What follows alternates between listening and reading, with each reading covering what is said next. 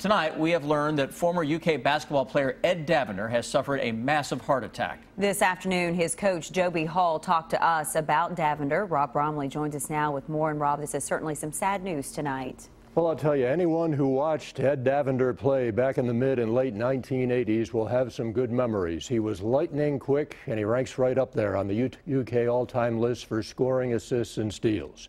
Joe B. Hall recruited him out of New York City. That was a breakthrough for Joby.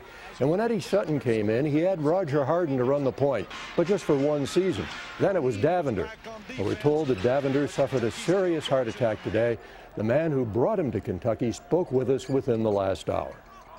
A lot of the players, former players, were gathering to have a vigilance uh, in his uh, hospital and spend time there, helping pull for him and, and use the power of prayer to help him through this.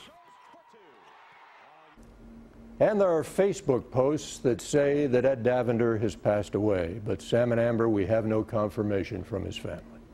All right, Rob, thank you. Ed Davender ranks 11th on the Cats all-time scoring list. He is fourth in steals and eighth in assists.